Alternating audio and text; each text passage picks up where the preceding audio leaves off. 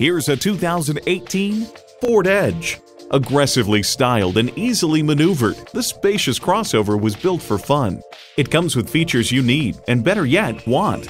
Bluetooth wireless audio streaming, power heated mirrors, dual zone climate control, configurable instrument gauges, Apple CarPlay Android Auto, power tilting steering column, driver selectable mode, hands-free liftgate, sports suspension, and automatic transmission. Every generation has its Ford. This is yours.